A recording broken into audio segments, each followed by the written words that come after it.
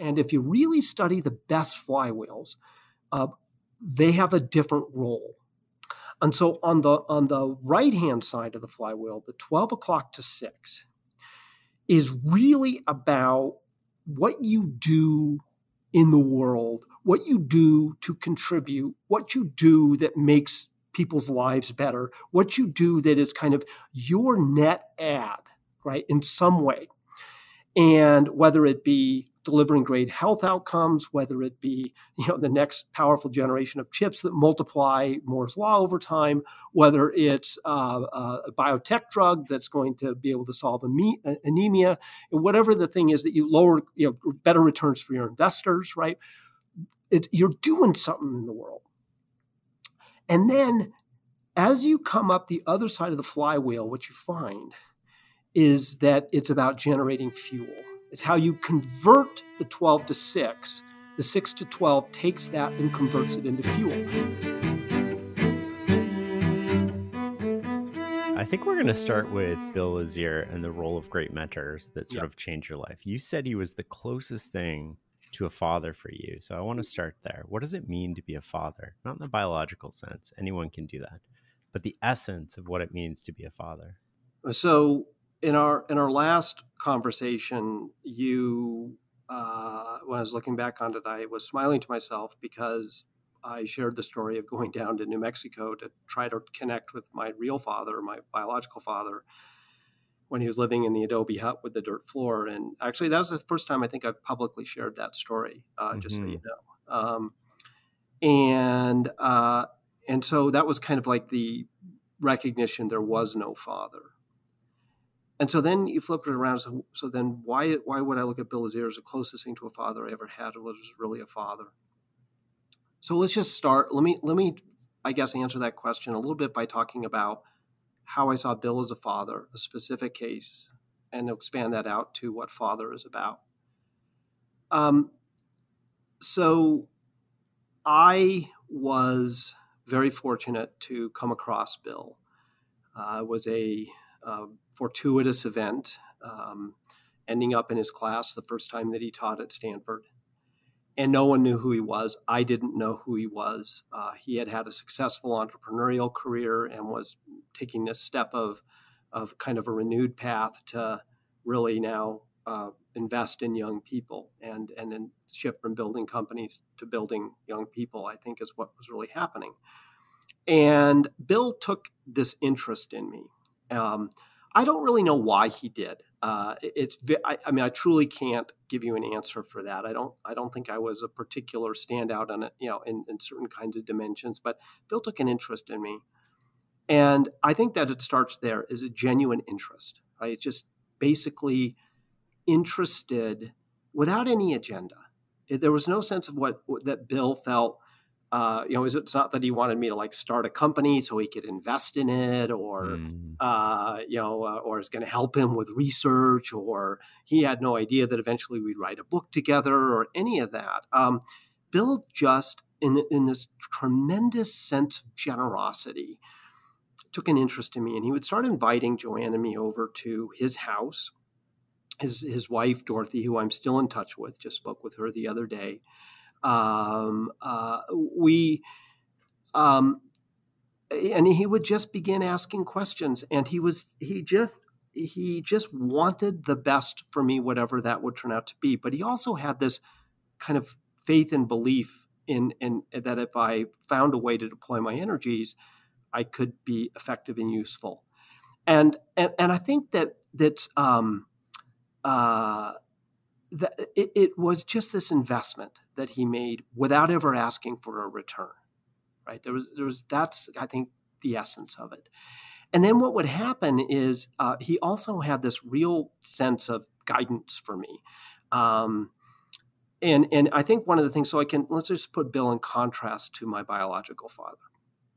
My biological father who um, i don't need to go into all the you know ways in which which he wasn't really a father but but one of the ways is bill would talk to me a lot about values right he he would talk with me about um, you know commitments and about relationships and about what are you going to serve and um, and and these sorts of things. And and until I really started having conversations with someone like Bill, and Bill in particular in great depth in my 20s, uh, I had never had a father figure who invested in trying to shape my character.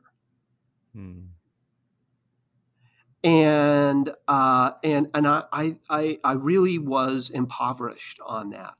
And then Bill stepped in and played that role of helping to shape not what I did career wise, but who I was as a person. And and if he felt that I uh, and he would guide, like you know, he would he would help me try to see this image I always had was I was a super high energy propulsion machine, um, but I kind of didn't have a guidance mechanism. I could have just crashed into a cliff or something, and and Bill was helping me build that guidance mechanism that was both kind of in in, in direction and in quality, and uh, and he would he would invest that way. So I think it has to do with being genuinely interested without asking for anything in return and shaping who you are, your character. And and and you know, I um uh I really at that point in my life, I was on a journey to create my own father. I mean, that's really we you know we mentioned that last time. I I really was trying to do that. It's like I didn't get one, so I'll make one.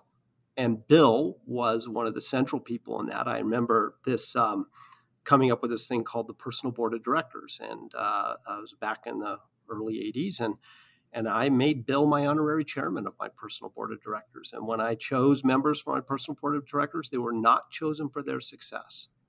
Uh, they were chosen for their values and for their character. Can you dive into that a little more? I mean, what I'm thinking about here is that we're, we're all born with parents. We didn't choose them. Some of them are mm-hmm. exceptional, some of them are average, and some of them are terrible. And that's not to place anybody in any of those buckets, but this is what you grow up in, and you get this environment, and you you get these habits. You you assume these habits from your parents, and that's the patterns that you learn as children. And then at some point, you take over your life, and you get to choose your habits and patterns, whether you recognize it or not. You, you, can take control. You can pick your own personal board of directors. You can pick your mentors, and those mentors need not be alive. Um, you know, we can we can sort of choose them, and we can choose to have the best mentors from history. What's the approach to pick the right ones? Well, so uh, first, in, in in my own case, um, I think my experience was maybe both. I had to start choosing early, and uh, and I uh, I think my initial choosing was to get away, um, to react to to to to not be uh, uh, you know, have to depend on something like an undependable father, um, and you know I I mean, no one in my family gave me guidance about where or what I should do or how I should think about things. So I think this question of sort of self direction and self choice and self molding for me started. Gosh, I was 13 or something, probably when it was really conscious that it really began. And there were some pivotal moments in that for me where I just like, I'm just going to do this. This is what I'm going to do. So, um, but then uh, when I when I entered uh, my 20s, uh, I uh, when I think about kind of choosing mentors and, and creating a father, I, I did I did three things. Um, the first was that I just made a simple goal. I'm going to read 100 biographies. And I figured that by reading 100 biographies, uh, I would get 100 lives. And those lives uh, would, uh, would teach me something. The beauty, beauty of biographies is you get an entire arc of people's lives, right? And, and so you don't just see them at moments or incidents. And I sat down and uh, we go one of the one of the ones that I uh, that that that shaped me a lot was was you know Churchill's memoirs uh, of the Second World War, four thousand nine hundred and ninety six pages, six volumes. Uh, it completely shaped the way that I think about how you guide through uh, tumultuous, horrendous times and and I tried to you know take the best of you know Winston Churchill as a as a guide, uh, and then I would move on. And sometimes they were they were folks that were just you know just interested might just take one thing from them and all and then and then that sort of led to the second part of the personal board of directors and i remember very vividly i was i was driving down alma street in palo alto and uh, and I've always been a very audio person. I don't take words off pages very well. So when I when they finally started to be audio books, man, I my my learning just accelerated exponentially. And I was listening to an audio book called Plain Speaking. And Plain Speaking was uh, basically transcripts and consolidations of interviews that a guy named, I think Merle Miller, had done with Harry Truman. And uh, Truman uh, had this one line in there, which was, the only thing I know for certain is if you don't know the difference between right and wrong by the time you're 30, you never will. And I like literally made a right turn, pulled off the side of the road, and sat there and thought to myself, I was in, you know, some somewhere in my early to mid 20s I got like five years to figure this out. so, I mean, it was a really blissful moment. It's like, how am I going to do that? Right. Because I, I really didn't want to get, I, I really wanted that. And so uh, that's when this idea of I'm going to create a personal board of directors and I'm going to put people on that board who I um, admire for their character, right? They're the sorts of people I wouldn't want to let down and uh, and and so I drew a little diagram of a like a board table and I put seven seats around it. And of course, Joanne had one. Bill had one. Bill was my, my first sort of non-Joanne choice. And then I then I filled out the rest. I put that that piece of paper above my desk. And whenever I'd be in situations, I'd look up to that piece of paper and there'd be those seven seats, you know, and I could mm. picture um, I mean, literally like their names were there, uh, and and it was like this guidance mechanism, and it didn't look to it for like you know how to be successful. That wasn't what the personal board was about. It was this like moral compass and uh, this sense of you know what's a what's a richer values based life based on these people so then that was the the second part so biographies then the personal board of directors and then the third was very conscious, um, getting the highest possible, um, making, how do I want to put it? Um, really, really growing from mentor moments. And, uh, and just uh, if I had a wonderful mentor moment, it might have only been a day or an hour, or it might be like with Bill, where it was day after day after day after day uh, for years. But I would those mentor moments were like they were like sapphires they're just pure drops of gold and i wanted to um, have those be like these seeds these kernels that would would affect me for the rest of my life and and and i have sought mentors it's evolved and and i and so i had the personal board directors and then as I've gotten older uh, the interesting thing is that um, most of my personal board members are now deceased, um, including Bill. And and so I started thinking now that I'm in my 60s, how do I begin to also have that same mechanism? And I I've, I've evolved it. It's no longer a personal board of directors now that I'm at a different stage of life. I, I have my personal band of brothers, mm. and uh, and these are these are people in my life. some of them are are are women, but it's sort of this band of brothers idea. And there's these people in my life that, again, I wouldn't want to let down. Some of them are younger than me, quite a bit younger. Um, some of them are are about my age, and uh, and I when I text them, you know, it's brother Tom, brother Kyle, right? My personal band of brothers, the people who would hold me to account, the people I would not want to let down. I think that's a powerful approach. I want to dive into some of those mentor moments, specifically with Bill, and some mm-hmm. of the, mm-hmm. the lessons that you've he helped instill in you. Yep. One was relationships, not transactions. Mm. Yeah. So, um, uh, so, so you know, Bill, uh, and and we write about this in in this uh, Beyond Entrepreneurship 2.0, which co-authored with Bill, and big part of the reason why we're talking about Bill is I re-released this book with a chapter about Bill to really honor Bill and extend his legacy. And, and he died in 2004, um, and I knew I wanted to write something about him and the profound impact he had on me. And I wanted to distill the lessons of this truly great mentor, but kind of basically multiply them as many times as I could uh, by sharing Bill with the world. And it was Joanne's idea to, to do the re release because um, I'd always wanted to write something about Bill. And, and Joanne said, you know, why don't you re release Beyond Entrepreneurship, which was, you know, with some new material, but really bring it out to share Bill with the world? And that would be the best way to honor him and to contribute. He, he would love that he is that he is mentoring even though he's no longer here. And so that that was a huge part of, of wanting to do this. Not the only part, but a huge part. So in that, in there, there are some lessons, and one of them is this: this notion of relationships.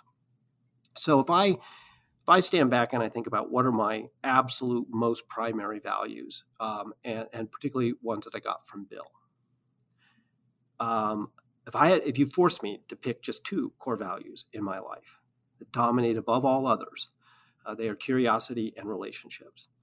And the curiosity, I think, has kind of been with me all the way along, but the relationships one I got from Bill. And um, Bill's basic view of the world was you know, number one, life is short. Uh, you never know when it's going to go away. And in the end, um, what does that up to? What is meaningful? And Bill believed that people break into two buckets there are those who kind of come at life as a series of transactions.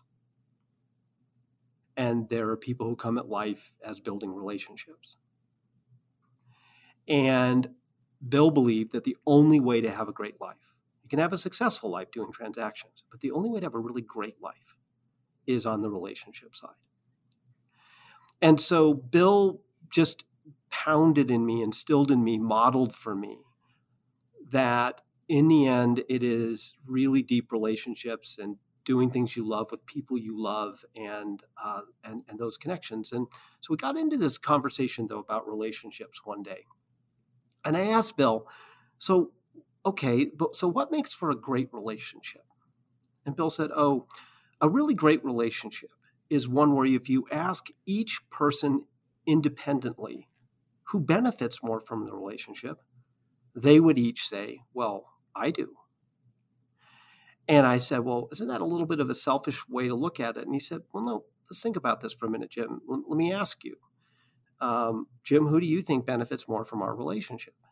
I said, Well, clearly I do. I mean, with everything you've done for me. And he said, Well, isn't that just great? Because I would answer that I do and uh, you know with uh, with the work that we've done together with how you kind of you know uh, uh continue to bring out of me a, a desire to, to, to teach and to teach better and so forth and we, we talk back and forth about these different elements and and the sheer joy of our time together. And um and what and what and he said see the reason both people can answer that way is because both people are putting uh, into the relationship, not for what they're going to get from it, but for, for what they can give to it. Mm. And because hmm. both people are doing that, both people would feel that they are the ones who are the ultimate beneficiary because of how much the other person gives. And I think that, you know, for me, that was like, wow, okay, so that's what a great relationship is. It's not what you get, it's what you give. And, uh, but over a long period of time, and everything we do here at the Good to Great Project is relationship oriented. I mean, there's not a single day that goes by that we don't think about what is the relationship element of this decision of how we handle something of whether we say how we say yes or no everything goes back to relationships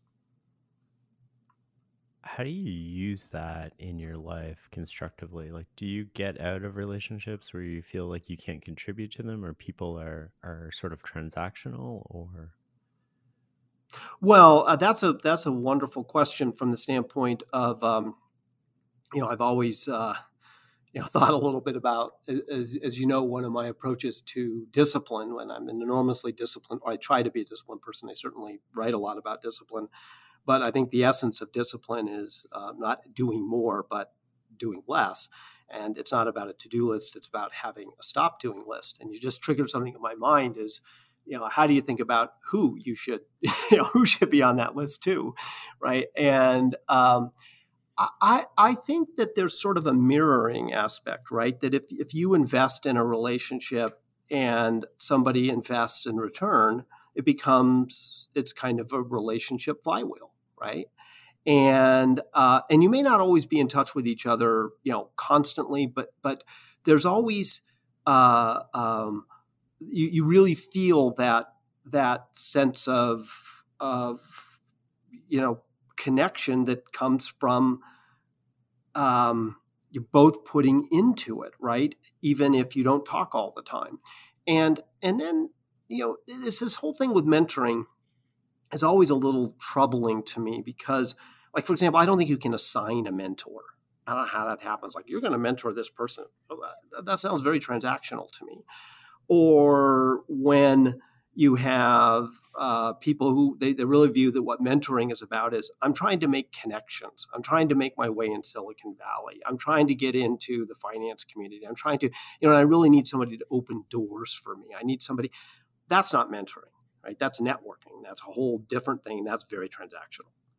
Um, and when when um, what I over time have have I guess I don't have a lot that end up on the on the stop list for the simple reason that I think over time I've developed a very intuitive sense for relationship oriented people, and my energy mm. just tends to go there.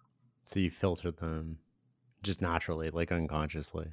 Yeah, I think so. I think so. I mean, you can tell if you sit down and have a conversation with somebody is is there a is there a connection and and and then i think the, you know the the um, the other the other aspect is I think great relationships tend to last a really long time. And so part of what I, I think happens is this this notion that you you know you spend more and more time with people that you've spent time with over time mm-hmm. because those relationships deepen.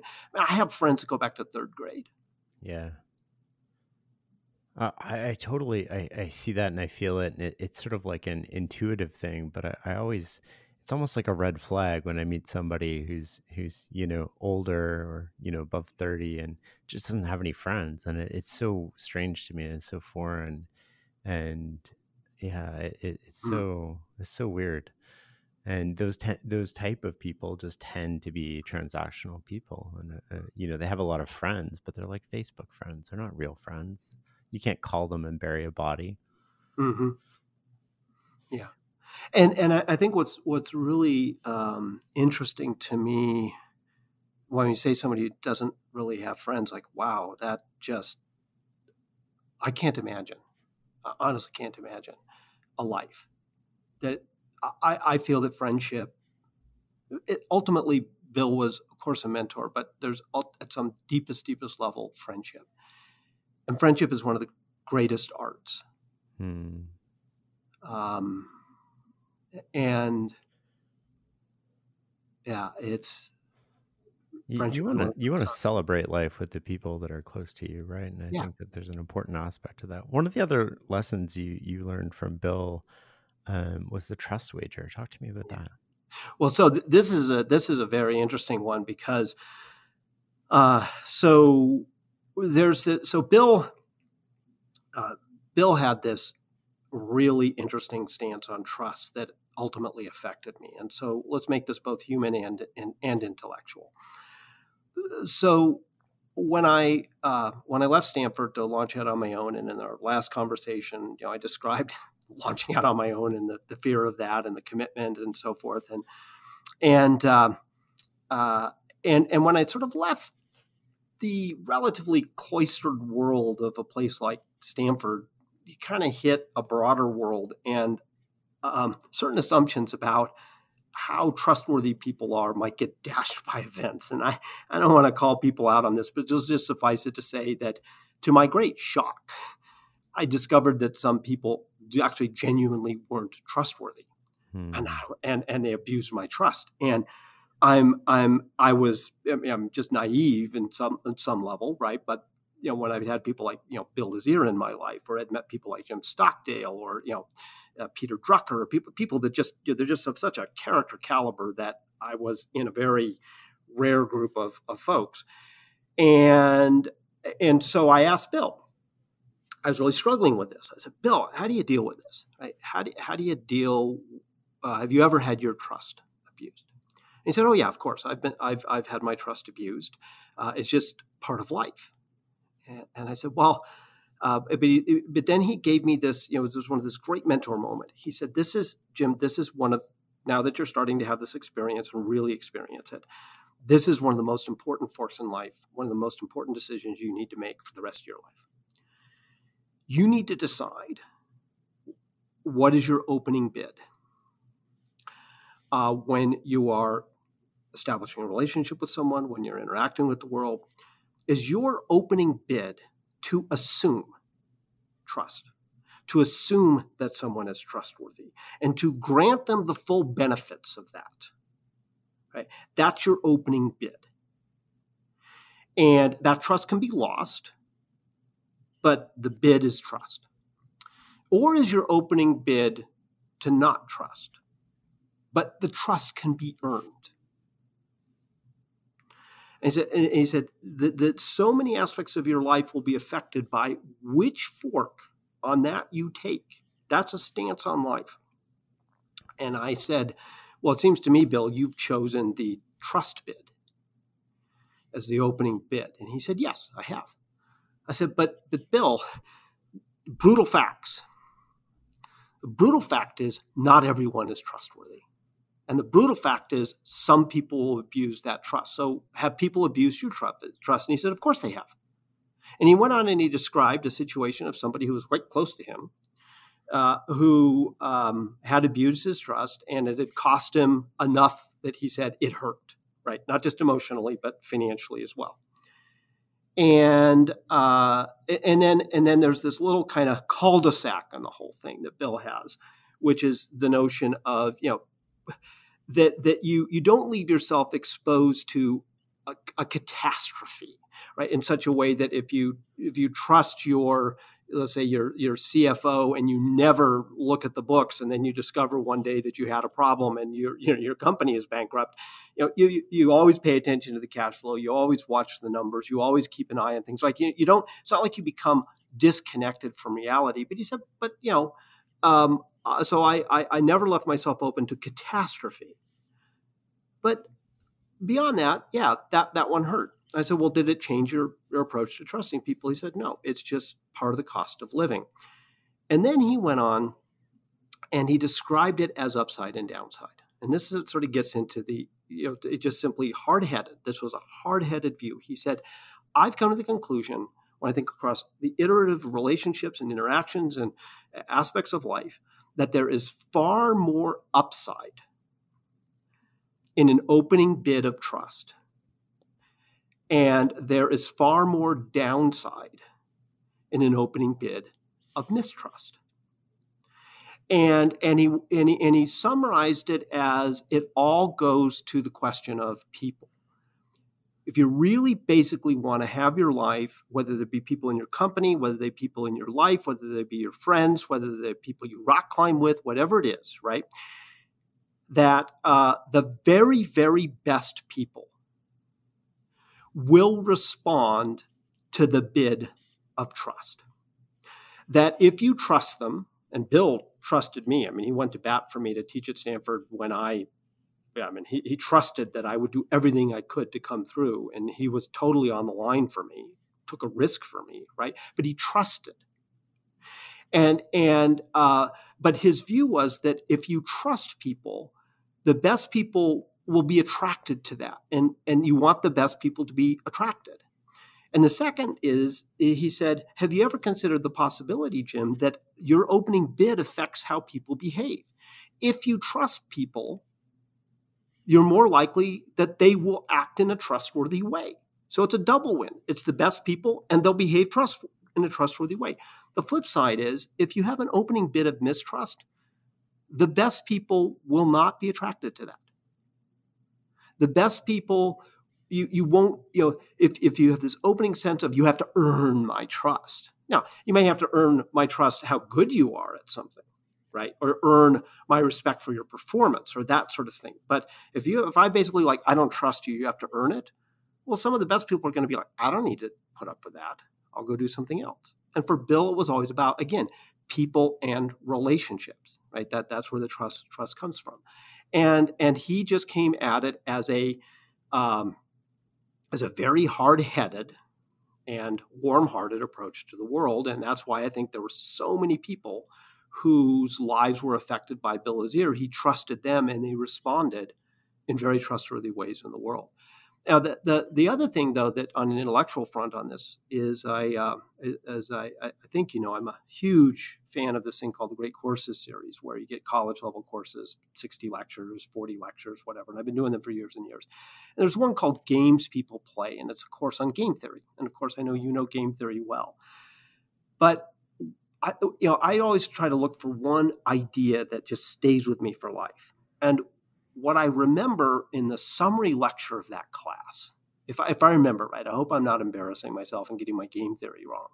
But if I remember it right, the essence of it was that um, in that the best strategy is an opening bid of cooperation. Now, the game can unfold from there, right? But that that is, you know, a good place to start. So I was very sort of like Bill had this sense of game theory that was in his approach to relationships and humanity. I don't know if he ever took a course on game theory.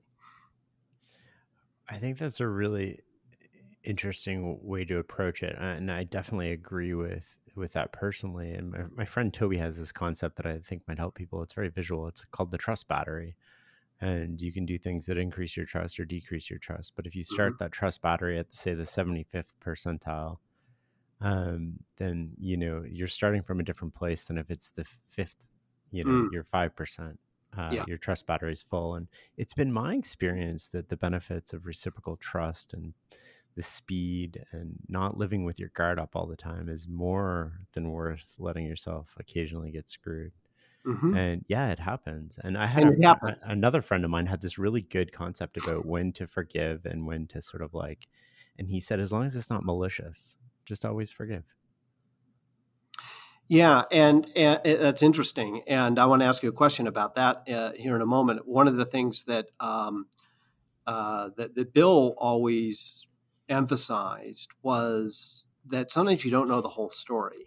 Yeah, and um, and you uh, he said sometimes it may not be ill intent. It could just simply be a misunderstanding right? Or it could be just incompetence right? Somebody might not actually be untrustworthy. They might just be incompetent and have messed something up out of incompetence or they made a mistake right? And so be careful. Uh, there's this um, uh, this moment i call it seeing the hat. It's a, it's a weird thing but uh, driving down a road in, in boulder and, and, and imagine a car all of a sudden you know, veers into your lane from the, the lane next to you. You're, you're you know, both going the same direction, and you're like, oh, you know, idiotic driver or whatever. And then um, you notice that what had happened was uh, when you went on past further is somebody's hat had blown off into the middle of the road, and they were going to maybe step out and grab it, and but you couldn't see that. Mm. And the person had veered so that they wouldn't. Okay, um, I think I, I, think Joanne had this experience, and you sort of think about it as like, well, wait a minute, you know, maybe you don't see the whole situation. You're jumping to a conclusion about why somebody is doing something, when actually, if you can see the hat, you'll look at it a little different. Yeah, perspective is everything, right? Yeah. Speaking of perspective, one of the things that I, that I got out of reading the, the updated version of this was how we confuse living a long life with living a great life. You want to talk to me about that? Yeah. Um, uh, so b- before we do that, let me just pop back and ask you a question because you, you put something out there that I found very provocative. And if you don't mind, I would just like to to ask about it, and sure. then we'll talk about long life and short life. Forgiveness. Okay. Um, what do you think it means to forgive? And do you think it's hard? Go ahead, please. No, sorry. What were you going to say? And I was just going to say, and do you find it harder to forgive yourself or to forgive others? Oh, definitely harder to forgive me. I think, uh, you know, forgiveness just means letting it go, right? And if you don't assume malicious intent on people, um, it's a lot easier to let it go. And we create these stories in our head about how people are, you know, doing things to get us at work and you know it's just nobody really cares. Mhm. you know nobody's walking around trying to hurt you and maybe there is the occasional person but it's not worth living life like that. And i think that when people in your life that are close to you that you trust and you're vulnerable with do um, let you down in some way then you know the the default should be to forgive them unless it's intentionally trying to hurt you and it's malicious. Um, but when it comes to, I, I'm probably the same as most of my listeners. I mean, I have exceptionally high standards of myself. I can't go listen to our past conversation because, you know, like you, I'm Yeah. like, oh my God, I could have worded that so much better. I could have said that Yeah. more succinctly. Or I'm just always sort of like the inner critic in me is, is Mhm. raging, or not raging, but out of control in some ways. And I Mhm. think that, um, you know, I find it really hard to forgive myself when I have Mhm. lapses in judgment. And we all do. We're Mhm. all human. I mean, that's part of what it means to be human. Yeah. And I think that we need to understand that. And perspectives helps us see that not only do we do that on occasion, and we, we hope that other people would forgive us because we're not maliciously trying to get them, but other people, uh, they're in the same boat. I mean, we're, Mhm. especially right now, we're all just trying to do the best we can. Nobody's at their best. The tolerance for you know what other people are going through just has to be higher and you have to put yourself in other people's shoes so you can realize that Yeah, you know, it, it's um, it's interesting. Uh, the oh, one the, the self critic part, and I, um, that, that I have the same experience you do, which is that uh, you know, of course, for this, I needed to go back and, and look at our look at our transcripts so that we could think about what we'd want to talk about that we haven't talked about to share with your your your uh, your listeners. Um, but I'm I'm the same way. I mean, I'm often I'll look at it and I, I describe it as uh, uh, it's it's not throwing an interception that that I get upset about because I don't throw that many interceptions. It's there was somebody standing wide open in the end zone and I missed him. And no one will necessarily know that, or else there was a three pointer that I that was wide open and I just didn't see it, right? And then and then I'll like I'll wake up at four in the morning and I'll think, oh man, there was a great teaching moment right there. They could have been so helpful to people, and I missed it. And the, you know, the I can't get the conversation back.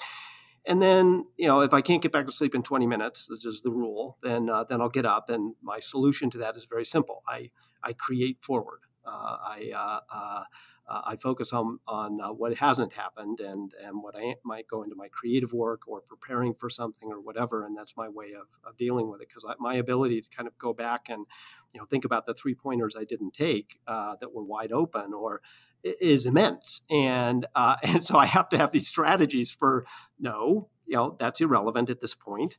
It's like sunk cost. Uh, it, it, and the best thing you can do is to create forward, create forward, create forward, create forward. I actually have a little thing on my wall called the Create Forward Manifesto. It's literally right on my wall that I wrote a number of years ago.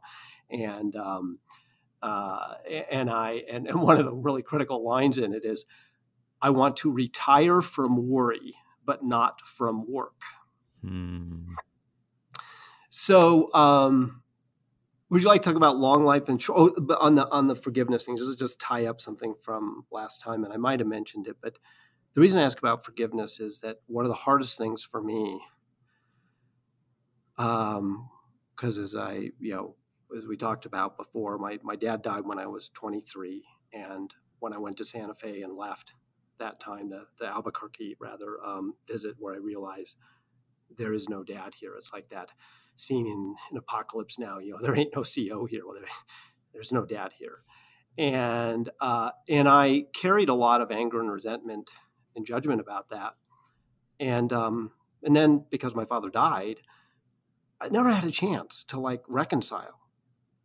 And what I finally realized is that you know forgiveness is something I had to learn how to forgive somebody who's no longer here, and to let that go, right? and and and that it's the act of forgiveness is something I had to go through, even though my father is no longer here, and that was enormously liberating. Right? I do not need to be judging somebody, um, and be fueled by that. Uh, I can, and that I like your idea of the word letting go. It's letting. It's like letting that go. I don't need that. I can let that disappear. I think that's a good play. Yeah, I have no further follow up on that one. Yeah. I, I think that most people just don't let it go, right? When they when you bring something up later on, a year later, six months later, two years later, you're still thinking about it. You haven't or ten, or twenty, or thirty. Yeah, you haven't let it go. You, yeah, you know, and I think that um, people like you and me, and maybe we've been forced to let things go and forced to find a way to do that. So maybe it's easier for us than some other people. But so long life and short life. Um, this is another great lesson from Bill, and um, and in the uh, uh, in in in the in the book, I wrote it as "put the butter on your waffles," but because uh, uh it really captures a crystalline moment, and so so Bill uh, Bill had this. Bill, Bill always seemed to find a way to be smiling, which isn't necessarily my my approach to the world. And um, I would often take things you know, very seriously and very intensely. And so we were, we were writing the original version of Beyond Entrepreneurship uh, together. And uh, on that original version, it was the very first book I ever wrote, and I was struggling uh, to, to write, uh, my, uh, working on the writing part of it. And I would basically get to the end of the day and I'd throw a bunch of pages in the wastebasket. I'm just like, I'm totally inadequate at this. And this is so hard. And of course, what you realize, anybody who writes, tries to write well, even if over the course of a decade you become a better writer, is it, the, the only reason writing becomes uh, easy to read is because it's hard to write. And writing is just hard. I, I think of writing as um, uh, is like running. It, it, never, uh, if you're going to run your best, it's always going to hurt. And so if you can run a five minute mile and then you get it down to 430, well, if you run a 430 and that's your best time, it's going to hurt as bad as when you used to run the five minute mile and it was your best time. You're just faster, but it's going to hurt. And writing is kind of like that. It's like, you know, it never gets easier. You only get better. So I was beginning, but I hadn't yet really accepted the reality of that's what writing is about.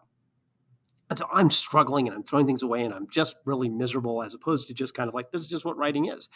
And I go to Bill and, uh, and I, and I sort of whine about my suffering. And and I expected Bill to give me a lecture on, you know, this this is like, you know, this is the time to really grit through, and you know, it's really gonna uh, it's really gonna hurt, but this is just something you have to endure, and you know, it's kind of like you got to keep going, and you know, that sort of like you know the the the hard edge thing. And instead, what I got was this this response where he just said, "Oh, well, okay, well, if this isn't fun, we should stop doing it." Mm. And I'm like, "Say what?" what do you mean? We're writing eh, we're writing a book. Uh, nowhere in the contract does it say have fun. what are you talking about? So he says, no, he seriously, he says, like, if this just isn't fun, if we can't find a way to make it fun, we should just not do it. And and it was just this, it was so perfectly built because he just he so deeply believed that if you can't find a way to make something fun and enjoyable, then you just you sort of miss the point because along the way there just aren't that many days and years in life anyways. And then the day after we turned in the manuscript for the original edition of Beyond Entrepreneurship, uh, Bill had a quintuple bypass surgery. He had a heart attack. And a few months after that, we were having one of our morning our Saturday morning waffle fest. We would go to Peninsula Creamery in Palo Alto, and we would meet there at Saturday morning, and we would have waffles and talk about whatever. And Bill would would just talk about whatever. It was just Bill continuing to invest and shape and care. And uh, he puts butter and syrup on his waffle, like a big piece of butter. And and then it puts the warm syrup on it. It all kind of mixes together. I mean, it's you know it's really great, right? But I I look at it kind of in horror, and I go, Bill, Bill, you a quintuple bypass. What are you doing? And he just continues to put the butter on his waffles and enjoy his waffle and has a smile. And then he says to me, you know, Jim, uh, when I was being wheeled into the operating room, I think I had a smile on my face because I realized right at that moment that I'd had a really great life. And if this happened to be like the end, and I don't come out of this, um, Dorothy and I have had a great run.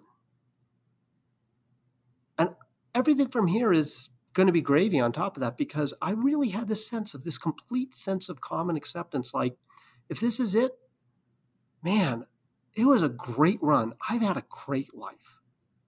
And he said to know that, to really know that when you're being wheeled in and, the, and you're going to have the quintuple bypass, and that was my feeling. I wasn't afraid. I was just grateful for my life. That's the moment I knew I'd really had a great life. And so I'm putting the butter on my waffles. And what what Bill um, believed was well, one just this notion that time just goes by really really fast. And it goes faster and faster. Now someday i'd love to hear on your show a psychologist or somebody who can explain to me why it's the same 24 hours but they're always faster. And bill and i i put this little story in the in the chapter uh, I, I said to bill one day i said bill you know you notice that time's going by faster? And he said, well, what do you mean? I said, well, I just noticed that, you know, garbage days when I have to put the garbage out seem to be coming quicker and quicker. It's like, oh my goodness, it's garbage day again. I know it's the same seven days, but man, it sure seems like a faster seven days when I was than when I was young. And he said, ah, well, wait till you get to my age and Christmases start coming around as fast as garbage days. and uh, but but that notion, he said, you know, time accelerates, and so actually, you know, it, I don't know what the psychology of it is. I have a weird little theory on it, but but nonetheless, this notion that you know that the days seem to, they're the same 24 hours, but they go by faster. And it's the same month and it goes by faster, and the same year and it goes by faster. Click, click, click, click, click. And he just said, he said, what that really teaches me is it's going to be over in an instant. I don't care if you get 100 years or 110 years or 70 years, it's over in an instant. And um, it is short. And I don't care how many years you get, it is short and it is gone in the blink of an eye. So, given that reality, Bill said, I think in terms of a great life. It's the integral, right? Summation of all the moments of your life, integrated from birth to death, experience TDT. And um, that's what your life adds up to. It's the summation of those moments. And Bill was like, however many you get, it's the quality of them. And that uh, he lived with to the end. And then he um, woke up from a nap, uh, December of 2004, and he was walking across the uh, to, to the bathroom, and he fell dead from congestive heart failure. And um, Dorothy said he had a smile on his face. And uh, that was it. And I, I lost Bill, um, and did as did hundreds of other people. But he had absolutely a great life, and his impact on all those people was so immense. The lives he changed, not just mine, but hundreds and hundreds of other people's lives that he changed creates that he did more through those people with his life um, than almost anyone I've ever met. And he's still touching people and changing lives. Right, and that's why I, I, I you know, bringing this this 2.0 version of the book out is to re, is to bring Bill to all these people who didn't get the benefit of Bill like I did. I want to switch gears a little bit here mm-hmm. and talk about decision making, which is something we didn't really dive into last time we spoke, which I was really surprised when I searched our transcript just lightly for decision making. Mm-hmm. There was no queries. I was like, oh my God, how could I have Jim Collins on the line for a few hours and not talk about decision making? So. And it's been one of your consistent themes. Totally. I, I, think I just get lost in our conversations and, and sort of lose sort of uh, track yeah. of some of the things that I want to ask you. I just wish we had like mm. I could sit with you for a week. But well, why do so many executives suffer from indecision, but leaders who build great companies don't seem to? How do we prevent analysis paralysis from sort of preventing us from making a decision? Hmm. So, um, so let's talk a little bit about executive decision making because we've looked at it uh, quite a bit. So this, this is, is, interesting because we were talking earlier at the very start when you and I got together about these sort of buckets of of, uh, of personal journey story and, and, process and content. So this is a good content area.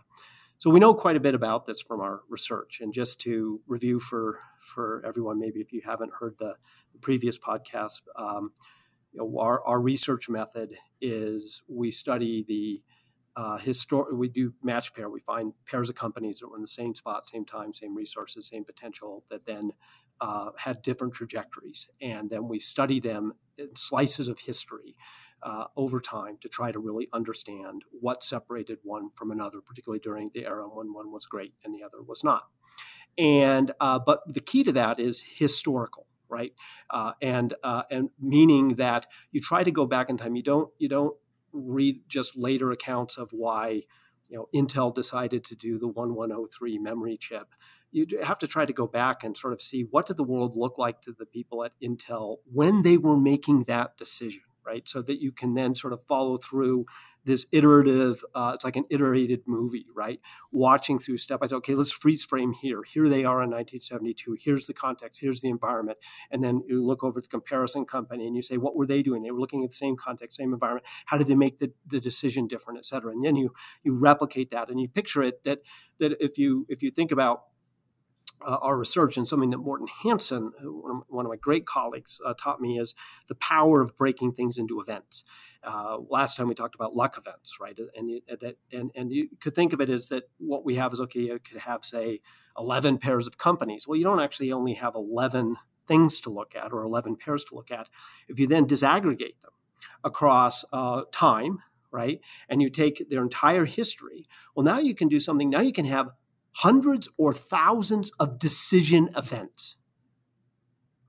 Right, so now you've got buckets where you've got much larger numbers to work with. Let's look at all the decision events over time and look at how they turned out, how they made them to the extent that we can see that, how is it different in the comparison company, and you can begin to do things. So that notion of event analysis through a historical match pair method uh, is very much how uh, we come at our work. And and Morten's ability to be able to say, which we use in Great by Choice a lot, which is you know, how to break things into these discrete events that you can look at, you know, many, many uh, incidents for, for, for doing really good analysis. And one of the things we looked at uh, in, in, our research over times is uh, decisions, uh, big decisions, small decisions, processes of decisions, and so forth. And uh, I guess let me just sort of um, tick through a few things that became clear from the research on this because it's it's actually quite interesting on on, on decisions. Uh, the um, try to be reasonably organized with this. So first, let me um, let me share a story. Uh, it's it's a I could use a corporate story, but it's actually one that we used in Great by Choice uh, about Andy Grove, and um, and, and it was when Andy Grove got his prostate cancer. Okay, so we have all the decision points about how Intel made decisions from its inception and so forth, but this one really was a fascinating kind of lens. We can we can maybe all relate to the decision as opposed to knowing how all microprocessors work or memory chips work and so on and so forth.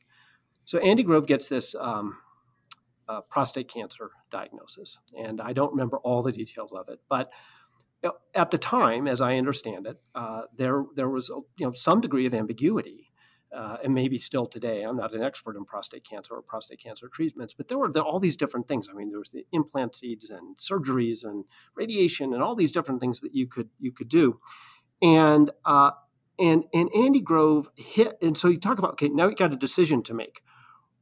What am I going to do?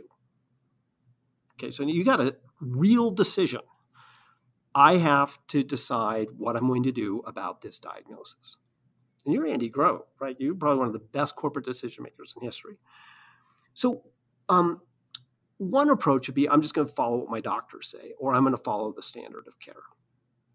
Well, what, what he did was he, he got good advice from different doctors, et cetera, but then he became like he really analyzed. He became, he's like, he described it like his second PhD and uh, and he really went into really learning and analyzing systematically. So I'm getting to your question about analysis, right? He really analyzed it. This is a this is a significant life altering decision. So he's not just going to be like, I just need to decide, you know, and if I make a mistake, I'll self correct. Well, look, if you do certain kinds of surgery, you can't self correct. So we want to make a good decision. But if you just sort of wait forever, well, then maybe the cancer will get you, right? So you've got this tension between the two.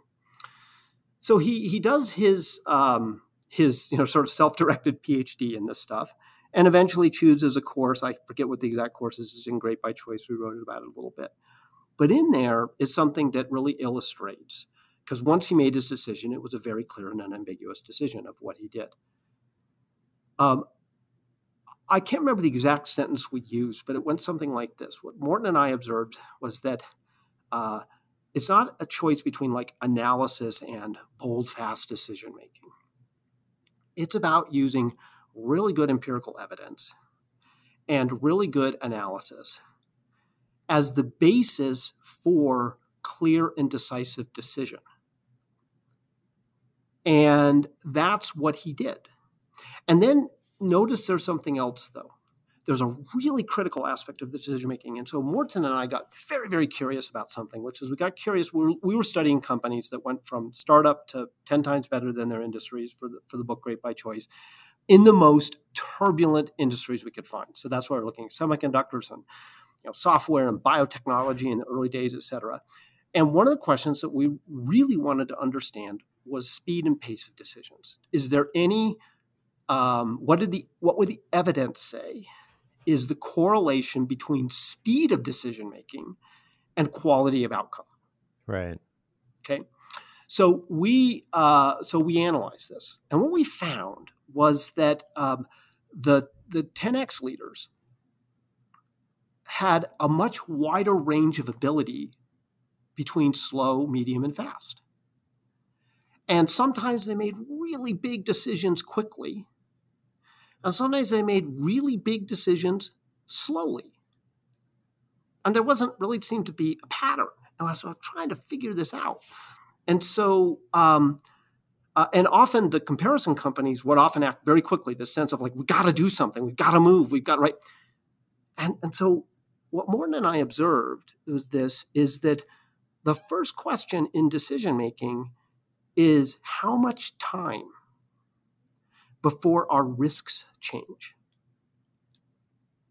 And that, uh, and, and so let's go back to the cancer case.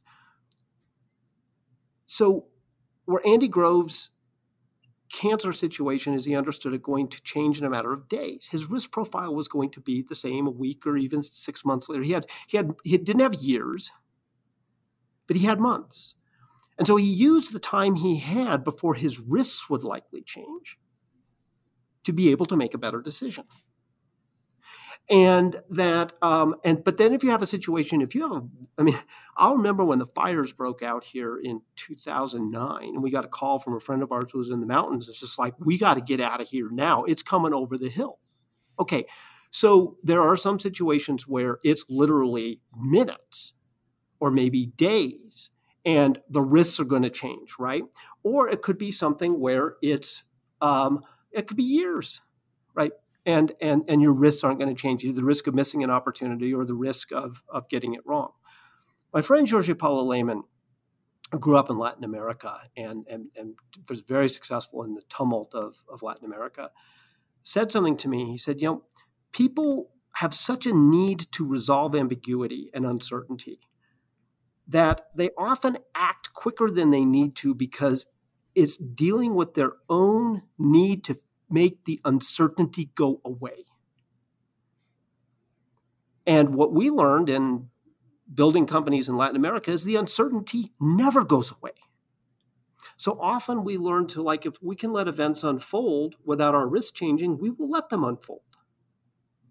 But when we need to act, we will act. And so I, what I found is, or what, what really Morten uh, and I found in our research is the question is not fast decision or slow decision, you know, as sort of proxies for decisive or not. It's how much time before your risk changes and then make your decision within that time frame.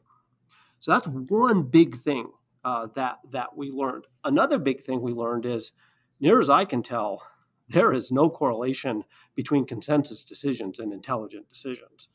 Uh, in the history of corporate history, most great decisions are taken where there's still substantial disagreement still in the air, and um, uh, and they are taken with um, without a need for uh, consensus. Uh, uh, the the culture is one of of disagreement, dialogue, debate, argument, uh, pounding on tables, whatever, leading to a point of clarity.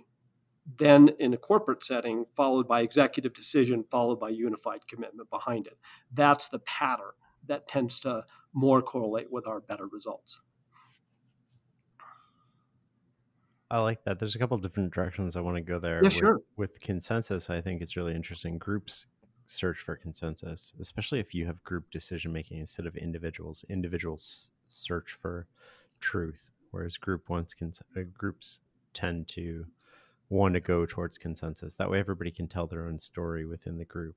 If the decision's successful, you go back to your tribe in the organization and you uh, you can say that it was because of you. You influenced the group, and if the decision is unsuccessful, you can go back to your tribe, and the story mm. you can tell is that you tried to to persuade them not to do it. And nobody's really accountable for those decisions. Whereas, if you have your name on it, you're searching for truth. You're searching for the best decision possible. Yeah, uh, I think that's really interesting, actually, and I, I think that also one of the um, uh, key things. I, I think we wrote about this in Good to Great when we were talking about dealing with the brutal facts. Uh, but there's this thing that uh, we call autopsies without blame. Mm. Right? And not all decisions have good outcomes. You know, so you know that we I think we touched last time on this idea of just because you got an adverse outcome, and you, you know when you're in your uh, poker interview, for example, just because you get an adverse outcome doesn't mean you made the wrong decision. Mm-hmm. Um, yeah, we, we don't want a result, right? We don't want to just look at the result of the decision exactly and determine exactly. if it was a good decision. Exactly. You know, and in and in investing, of course, you know that's one of the big lessons is that you cannot judge the quality of your decision based on the result entirely, right? You, you have to know that there is a stochastic probability that, okay, I think there's a four fifth chance that this investment will do well. There's a one fifth chance it might not uh, I'm making the decision for the right reasons. I'm making the decision with the right analysis. Um, I'm placing the bet. It still might go against us, but that doesn't mean I made the wrong decision, yeah. right? And uh, and so when you have autopsies without blame, what we found in our comparison companies, and going back to your question about then why does indecision happen?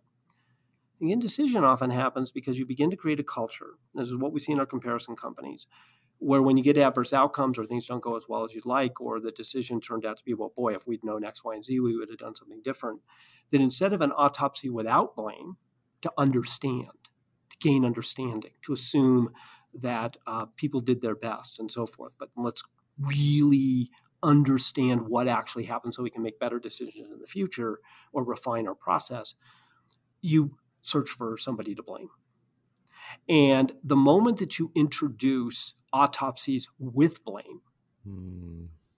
as opposed to autopsies without blame, the more you are going to begin to create an environment where it's like, man, the upside downside here of making a decision is, you know, you've got upside downside for the company. It's an agency problem, right?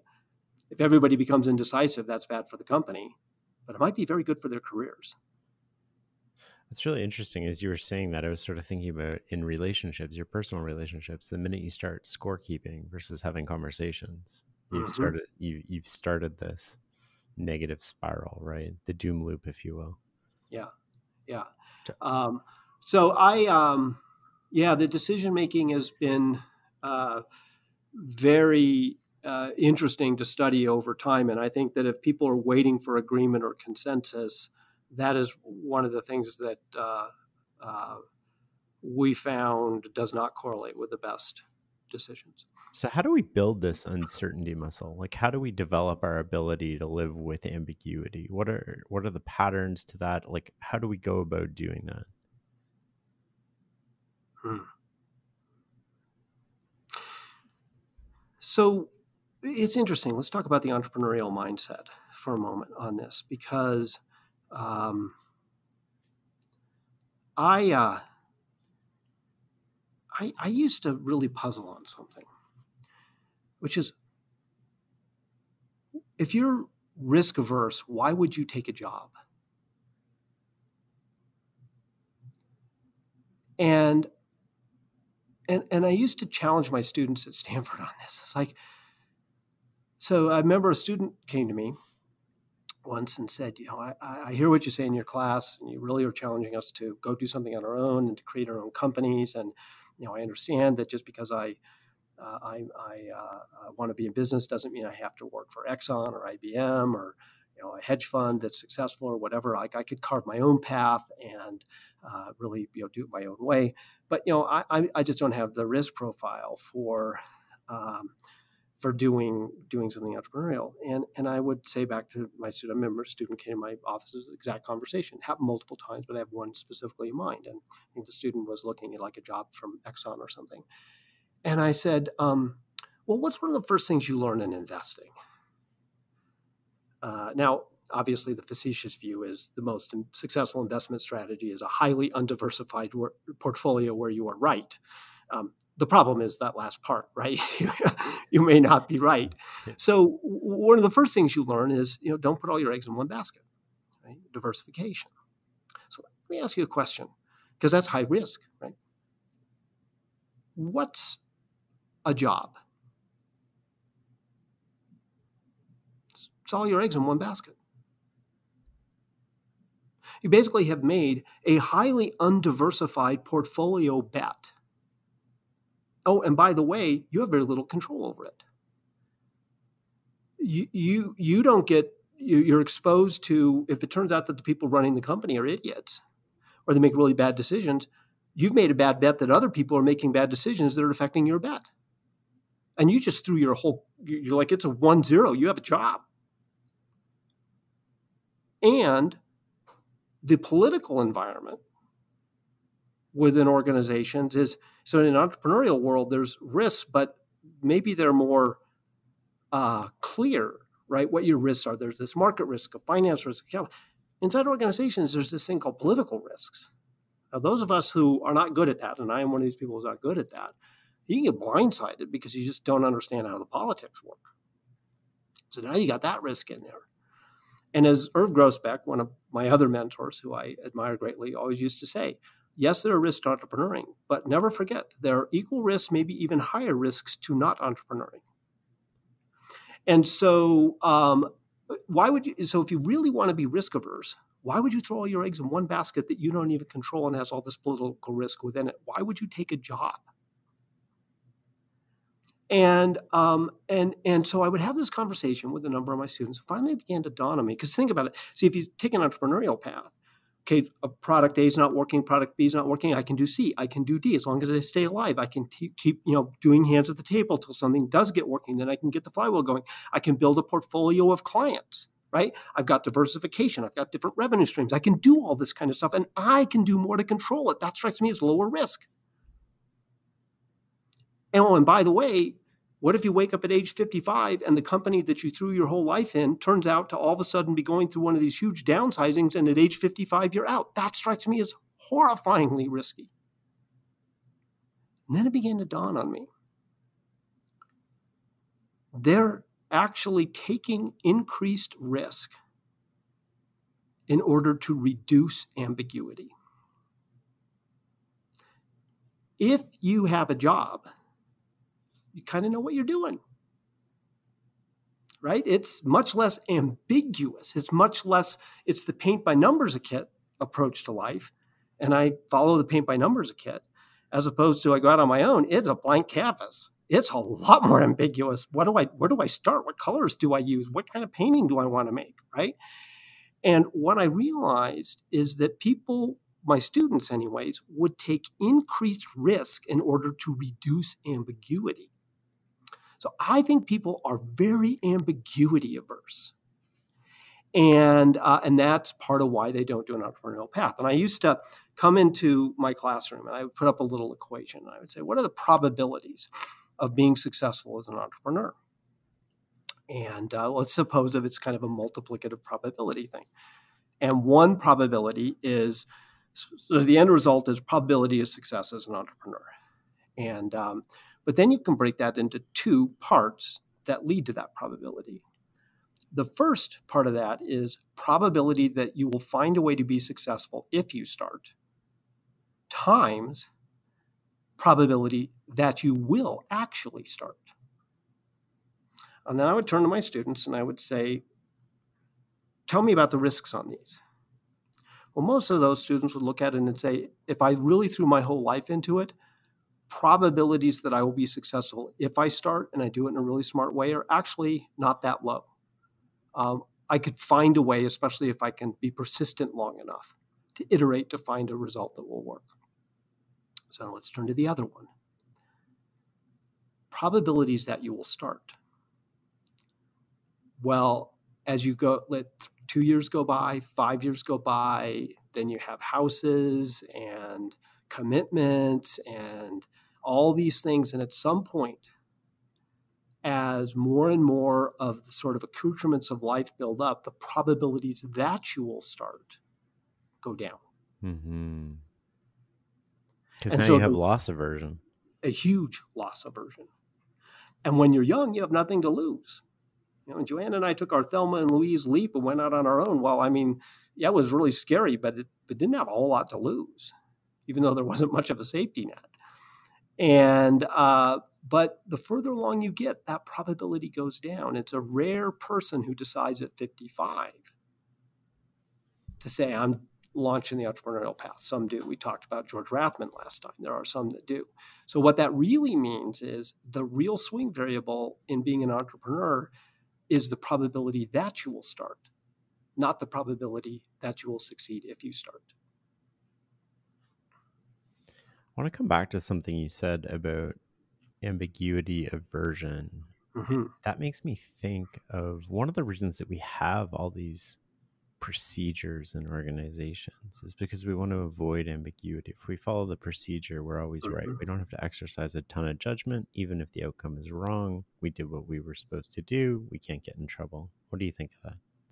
So I think this is a really, really great question, and and and, and forgive me for taking a moment to to pause um, and think, and and and as I process through all of our research on this question,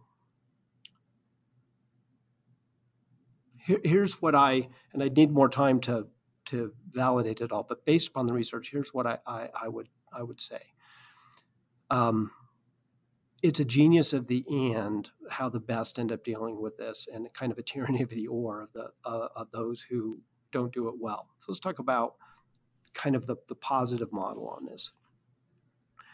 So we know that uh, as our companies, the leaders who built them became enormously successful, uh, they were really good at uh, at certain kinds of replicable recipes and uh, and and and really really good at those. So if you take for example, you know Southwest Airlines, which amazingly became the best performing stock over a 30 year period from 1972 to 2002, startup company, three airplanes. Uh, and then you know expanded that across the country. And if you if you study it very carefully, uh, what you'll find is something that this is really a surprise to a lot of people. But again, this is the power of historical analysis. This is the power of evidence-based research, where you're always doing, you know, constant comparative analysis. So if we look at, so, so let me actually let's just take this case because it really is going to teach something about all this. So on the one hand, um, in order to really build and make a flywheel go really far, you need to have some replicable recipes that you're going to be staying with more or less for quite some time.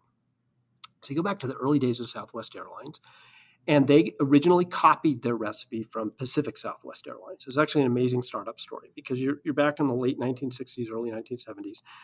And uh, their original business plan was copy PSA in Texas. PSA was Pacific Southwest Airlines. They were based in California. People who from that era may remember the the, air, the company that had the planes that were the sort of point to point commuter planes that had little smiley faces on the bottom, you know, on the front part of the uh, of the fuselage. It made it look like a smiley face in the sky. That was PSA. And Southwest Airlines uh, basically flew out there and and and uh, basically copied their model and took it back to Texas. And this was pre-deregulation, so PSA you know gladly shared with them how they do things. So much so that in fact, if you ever wondered why why Southwest Airlines is called Southwest Airlines based in Texas, well, you know if you if you basically have the entire recipe and all you do is cross out the word Pacific, you get Southwest Airlines. I mean, it's, it's not it's, it's like a photocopy of the original idea.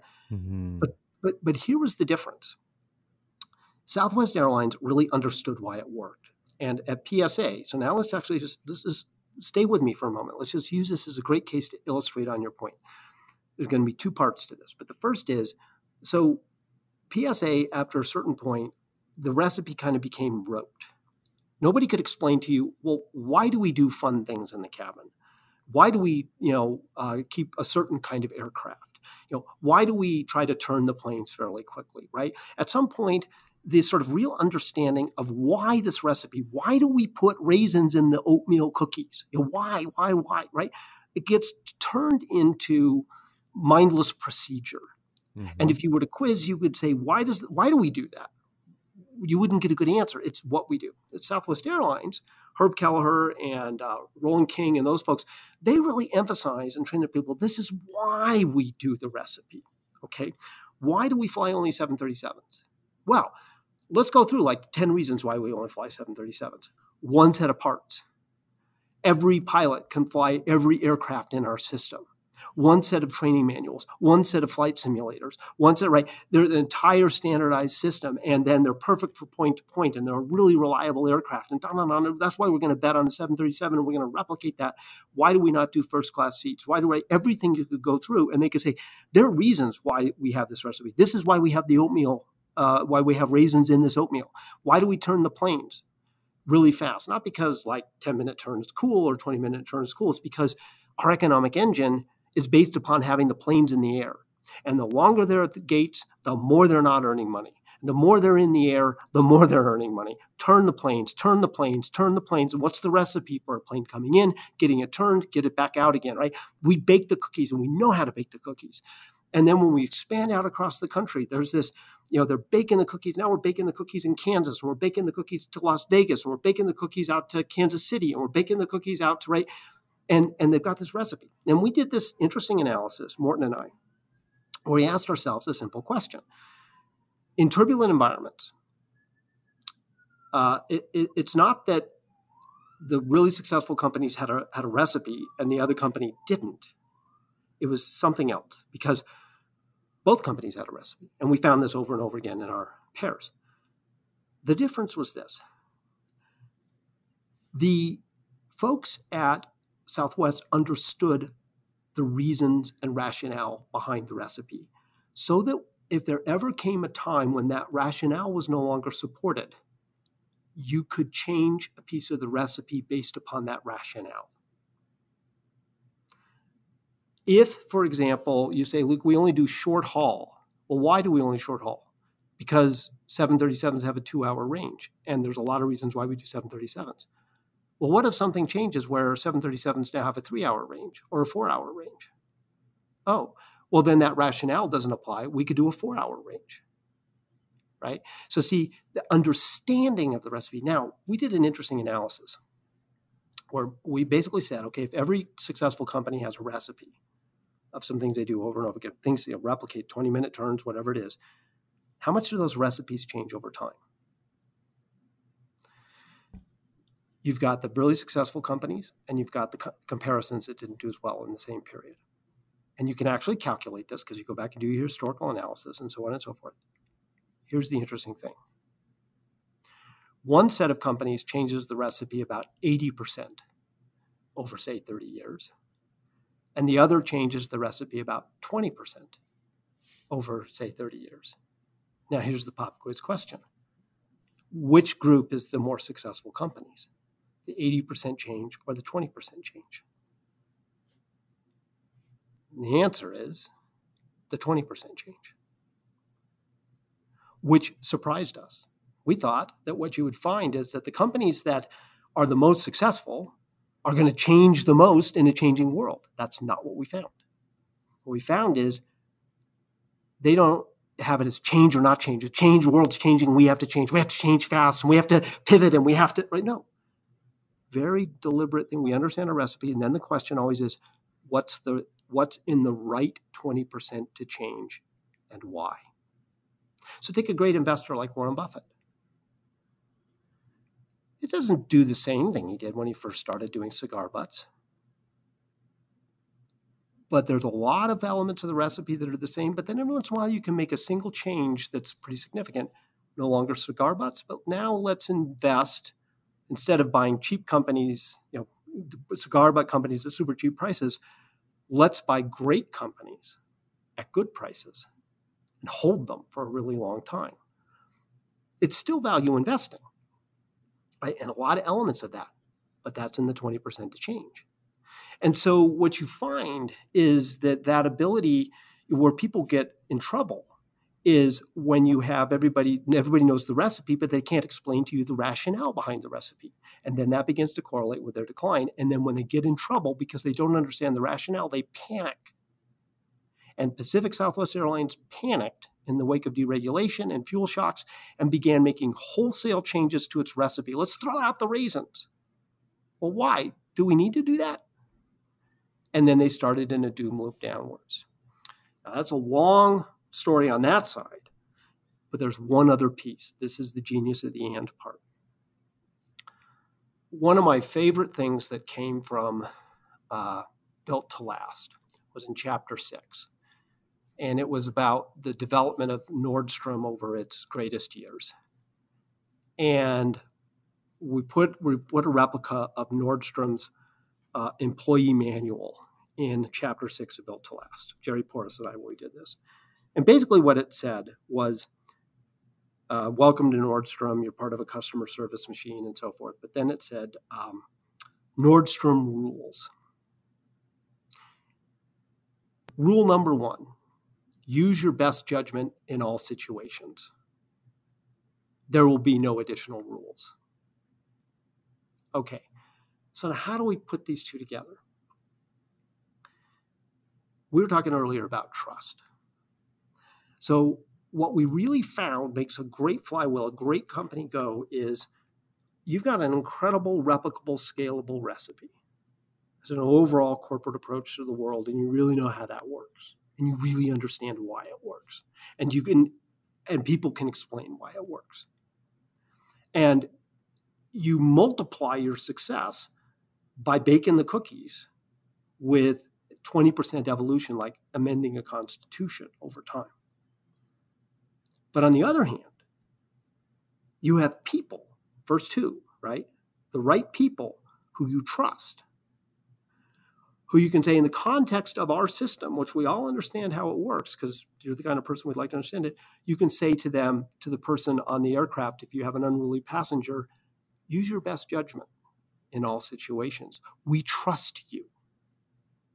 And so when you put the right people who you trust, who were selected for their values and their judgment, next to a highly replicable, disciplined recipe, and you put the two of those together, now you have the genius of and that better explains a Southwest Airlines relative to a PSA over time, a big part of the answer, not the only answer, but a big part. Does that help at all? That's super helpful. For every Warren Buffett out there, though, there's you know a thousand people who talk like him, walk like him, and basically try to copy him. How do you distinguish the people who are copying and don't understand why the recipe works from the people who copy? And, and you know, on the surface, it's really hard to ascertain that? What are what are the ways that we can go about separating the people that know from the people that don't?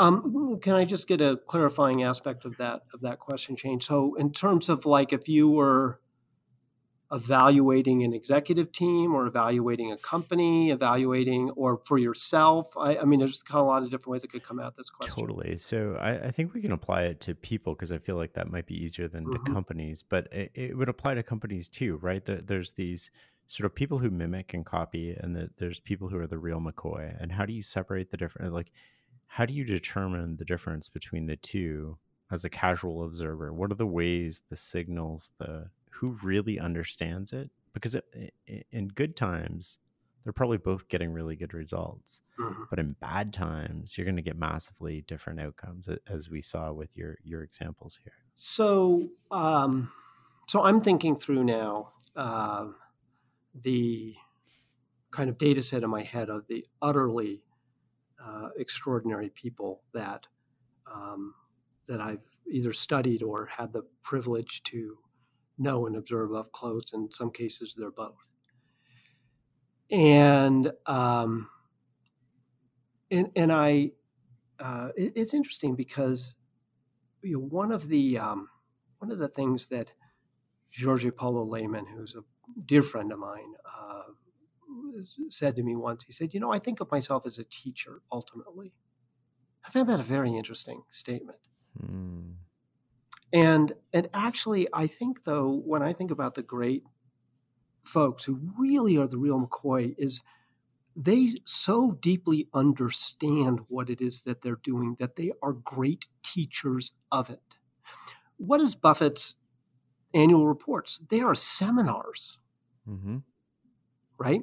And and let me let me share somebody who I really think of as a great hero, and I, I um, just is a wonderful man uh, on so many dimensions, but I think really illustrates this. And let's take Jack Bogle. So, um, actually, can we just can I just share with you a little Jack Bogle story? Of course. So, uh, about three years ago, uh, uh well, of course, as you know from the flywheel monograph, I've been close to Vanguard for, for some time and helped them get their flywheel right, or they got their flywheel right by me just asking them to get it right. I guess is really what happened. But uh, uh, but I, I got to know Vanguard well and how they built this incredible flywheel that that that that that's just almost perfect, right? You know, you start with we offer lower cost mutual funds, and if we do that, you can't you can't help but deliver superior returns for the same you know asset uh, and if we do that we can't help but uh, have really you know satisfied clients because we've done that. And if we do that we can't help but grow assets under management. If we do that we can't help but increase economies of scale. And if we do that we can't help but be able to lower costs on mutual funds again. And around and around this this beautiful flywheel goes. And it's been going for for for you know now into trillions of dollars since uh, when Jack Bogle founded it. And I've always admired the purity of it and uh, and I've always admired Jack Bogle as a result. So I was at this thing in New York, and uh, we were we were both being uh, inducted into something, and I noticed Bogle was there. I was like, "Wow, Jack Bogle's there!" So I, I, go up to him, and he was kind of on his cane, and you know he had a heart transplant many years ago, and I said, "Hey, I don't mean to intrude on your space. I just want you to know how much I admire you and what you built at Vanguard." And he, he looks up and he says this warm smile, and he says. Uh, oh, uh, Jim, yes, um, uh, uh you know, I, have read your books and we should talk sometime. Do you ever get to Philadelphia? And I thought, uh, I can get to Philadelphia. so, so uh, he said, you know, after this, why don't you reach back out to me? We should talk. Hmm. So now at this point, he's like 87 or 88, right? He's Jack Bogle. And so I get home and I tell Joanne about, God, I met Jack Bogle, and you know, he invited me out to come out to Malvern and and have a conversation. And but then I started thinking, and I started hesitating because I kept thinking, you know, I don't. I mean, how many Jack Bogle days are left? I don't want to steal one. So I hummed and hawed and hesitated, and finally Joanne said to me, she said, you know, make it easy for him to say no but reach back out to him. He asked you to. So I sent him this email. I said, "Dear Mr. Bogle, yeah, we you know we met in New York, et cetera." And then I just sort of went through this long description of giving him all these. I know you're busy. You're probably working on your next book and wouldn't really fit in, but I just wanted to say it was nice to meet you, et cetera, et cetera. And you know, sent the email off, giving him every opportunity to say he's too busy, right, or wasn't going to work. I get this email back, dear Jim. First, it's Jack, not Mr. Bogle. Uh, I'm so glad you followed up. I so much wanted to have a conversation with you and I wanted to, to follow up with you, but I didn't want to seem pushy. Please come to Malvern. So I get on a plane and I go out there and I, I go and We ended up having almost an entire day together. And, and, and first of all, just as kind of an image for life, um, my my new research that's going to follow now that I'm kind of done with the what makes great companies tech research after 30 years and so forth. I'm turning to the question of why do some people remain incredibly renewed over the entire long arc of a life so well, and maybe others not as well. So I meet Bogle. He's 88 and, and we sit there. I mean, a, a real meeting, a real conversation. And you got a picture like he had done his Princeton thesis on, I think, mutual funds essentially in the early days of that, you know, decades and decades earlier, right? What was it, six decades earlier?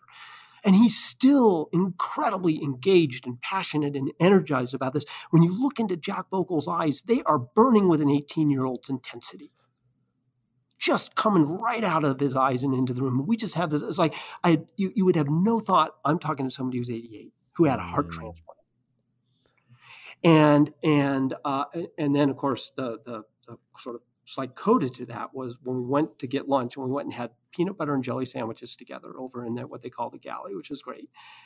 It took us 20 minutes to walk across the courtyard because his body was failing. But the renewed, engaged mind. Oh, it's still there. And in that day, now notice what Bogle did.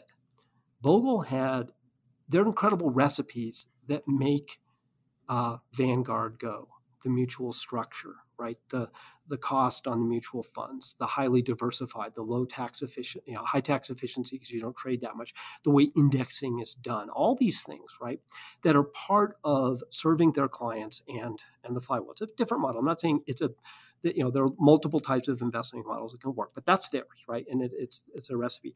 But when you sit down and you follow Bogle, what did he do? He became a great teacher of it.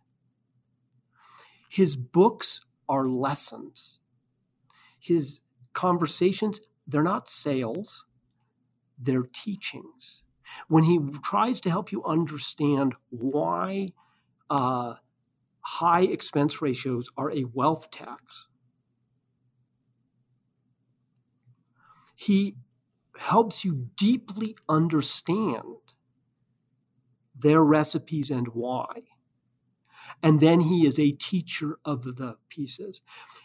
And what I have found is that, uh, and in his life, he was still teaching right up until his breath ran out. And what I have found is that, you know, the whether you're talking about, you know, any of these people, when Herb Kelleher would talk about what it is that makes Southwest go, the emotion around his people, and he would cry over that and his incredible understanding. Well, why, why don't we introduce meals? And then he would just go through this reason. Let me explain this to you. Help me teach you this. Let me share this with you. Let me share with you mistakes we made in the past and what that teaches. He was a teacher. And when you find someone who is able to teach versus giving you rote lessons, I think that's how you, one indicator of the real difference. I love that. I think that's such a great answer because it shows the depth and the nuance and the sophistication and and and the simplicity that sort of comes out mm. on the other side of it, but it dives into why. Yeah, yeah. And if you can't teach it well, you don't understand it. I want to switch gears here. I'm cognizant of your time, and there's one thing I want to make sure we get to before we we sort of. Yeah, you know, it's interesting because I I uh, I was I just want to share. I was quite worried we wouldn't have enough to talk about, and it looks like we're not going to have that problem. Oh gosh, Jim, there's I could, I could keep going for days here. Um, you said you're at the midpoint in your career, and you've spent some time consolidating it onto a map, mm-hmm. and I think we've yeah. covered uh, you know a large part of that map on the last list but one thing we didn't or last time we were on the podcast but last one thing we didn't hit on was the Stockdale paradox yes. and i think that's critically important um, to think about right now what is it and why is it important so um, so first of all i, I want to uh, harken back to the session you and i did uh, a, a, year ago and and something i mean I, I, I when we were communicating about doing this time, which is you know stimulated by Beyond Entrepreneurship 2.0, or I guess we just call it BE 2.0, um, I, I you know was thinking back to that session, and I was stunned by how much we, uh, you know, you extracted out of the framework. And what I really realized is, if you read that transcript, it really lays out a big chunk of that map. I mean, essentially, I guess I was already writing it at the time, which is probably was heavy on my mind. But I think that's the first time in that sort of setting that I've really sort of unfolded the map. And you were very kind to let me sort of unfold it, uh, you know, in its essence. So for anybody who is uh, the, the, map is now fully in a chapter in BE 2.0 and so forth. But anybody who wants to sort of hear the verbal version of the unfolding of the map, that previous episode, like you pulled that out of me really well. And um, uh, but there were certain parts of it we went much more in depth on, such as uh, the flywheel, and I've, I've, learned some things about the flywheel since, um, including one idea we might want to touch upon. Uh, we talked about uh, you know level five leadership, and we talked about who, and we we talked about a number of them. But uh, and we did talk about brutal facts. Uh, but what we didn't talk about was what I think is the ultimate sort of deepest concept uh, around brutal facts. It sort of goes hand in hand with confront the brutal facts, and it's the Stockdale paradox. We're in a Stockdale time. I think we're always in a Stockdale time somewhere in our lives, but this is like a global Stockdale time. And yet, the idea is so timeless that even if somebody's listening to this post COVID, uh, this is an idea to take away for life. So, how would you like to to address it? Would you like me to share the Stockdale story and how the concept came to be? Yes, definitely. I think it's a powerful story. Yeah. So, um,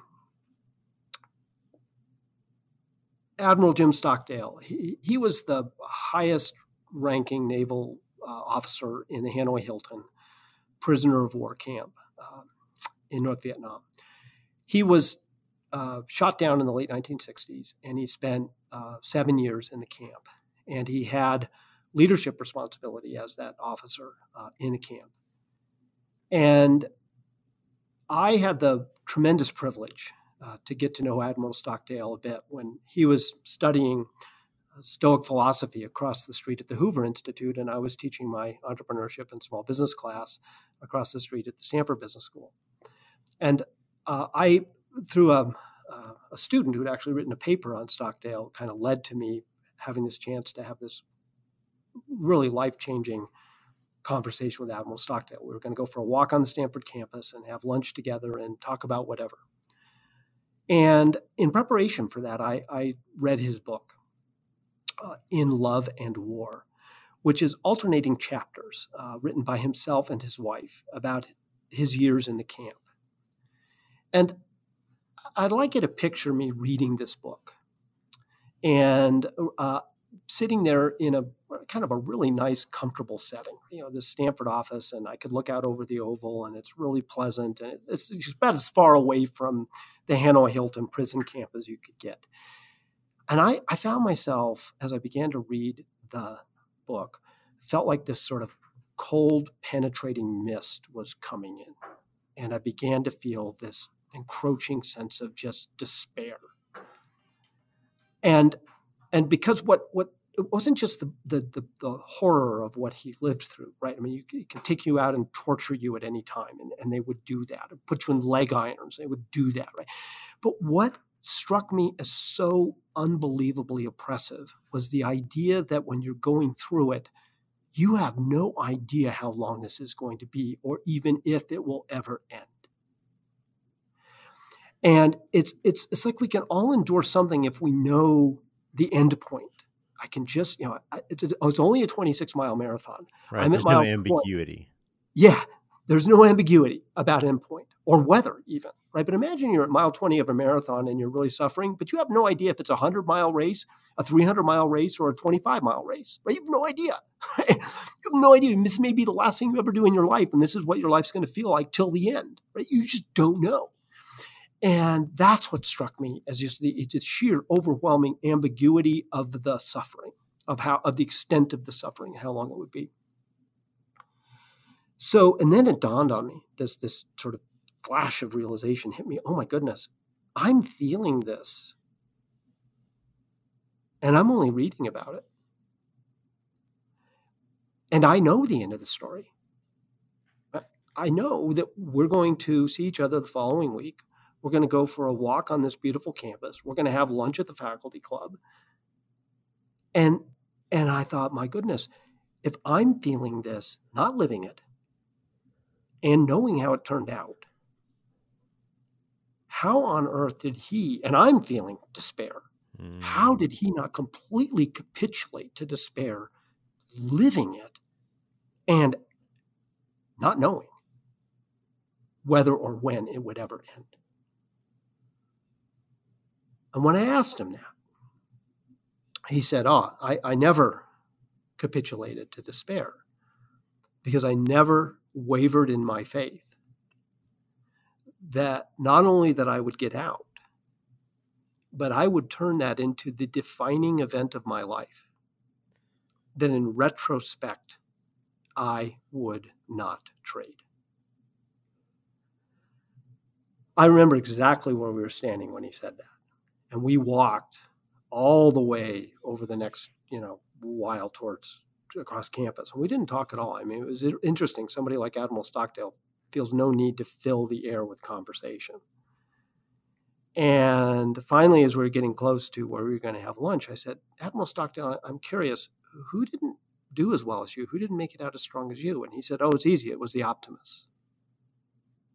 So I'm confused. I mean, you sounded optimistic back there. He said, No, I was not optimistic. Let me explain to you what I mean by optimistic.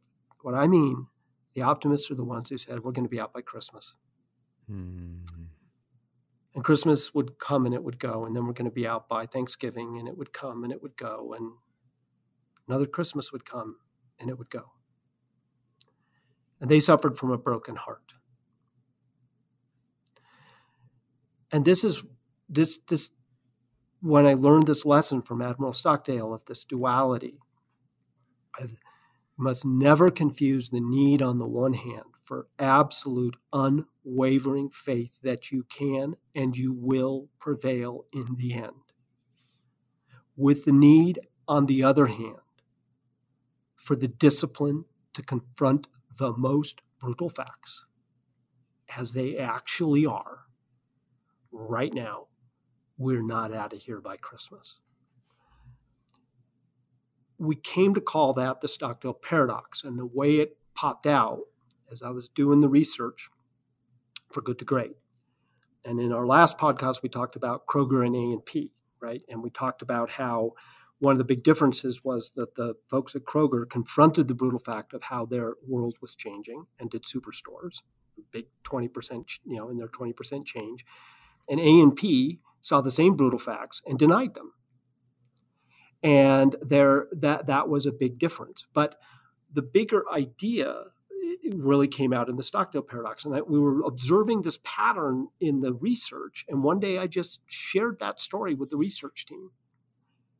And I said, I just keep thinking about this conversation I had with Admiral Stockdale. And then essentially what happened is that triggered right there in the discipline thought. So you discipline people, but then in the discipline thought part of the framework, all of our leaders who led their companies through these often very desperate times, they actually had both sides of that Stockdale paradox. They had this unwavering faith that they would find a way to get to the other side and the discipline to confront the brutal facts as they actually are. We called it the Stockdale paradox, and it became part of the framework. It is not a business idea, though. I I don't know about you, Shane, but this has been a Stockdale year. Totally. Uh, I mean, you know, it's just, and I have friends who are just like, man, I am so done with this. And it's like, yeah. man, we're not out by Christmas. Yeah, same thing. I mean, I had friends in March and April who'd be like, "Oh, this will just go for a couple weeks." I was like, "Man, I think we're going to be here for a while. Like, you just don't don't start focusing on a date. Just start focusing on what you control." And yeah, yeah, but we will get out of this, which is a good thing. I want to come back to something you said, which is you've you've learned a lot about um, the flywheel since we talked last. What have you learned? Yeah. Yeah. So, um, so last time you were you were very kind to let me you know share that we are bringing out the flywheel monograph and sharing it with people and going back to the Amazon story and so forth. And since then, uh, as always with the ideas that come from our research, what I find is that even once I publish something, I get a few months or years or maybe even decades down the road, and I understand it more than when I wrote it.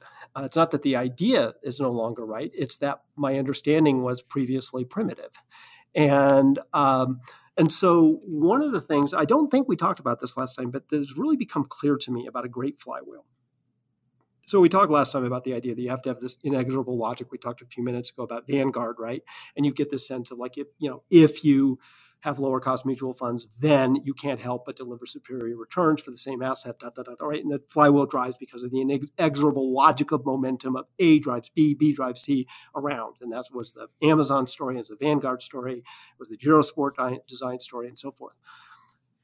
But then as I began to teach, right, the flywheel, so back to the teaching theme of like you begin to understand things when you can really teach them and share them, I began to realize that uh, a few things started to become uh, very clear about getting your flywheel right, really getting it right. Like where it's again, it's not it's not about drawing a circle, uh, you know, taking a list of action steps and drawing it as a circle. That's like that rote version of well, we have a flywheel, we don't understand it. It's about understanding the true logic of momentum, deep, deep understanding. So. Um, one thing I've learned is that there's tremendous power in thinking very hard about what is the, the 12 o'clock point on the flywheel because it has tremendous signaling. So is your opening point about, you know, creating something like creating the next great bicycle helmets or the next great generation of chips or biotech drugs or whatever? Or is it about, does it start with getting a certain kind of medical professional like at Cleveland Clinic? Does it start with lowering costs as, as Vanguard's was? Like, where's the flywheel start? Even though it's a repeating loop, is there something very powerful about asking that? So that's one thing I've learned.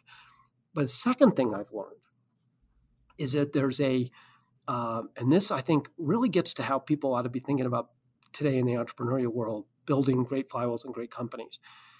There's sort of a right side and a left side of the flywheel. So when you look at a, a flywheel, it's going around the, the clock.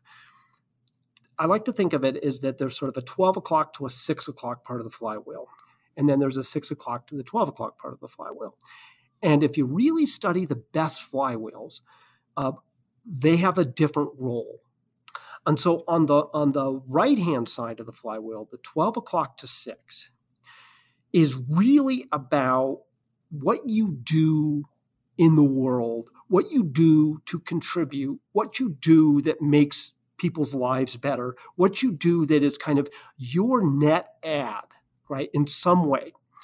And whether it be delivering great health outcomes, whether it be you know the next powerful generation of chips that multiply Moore's law over time, whether it's uh a biotech drug that's going to be able to solve anemia, and whatever the thing is that you lower you know better returns for your investors, right?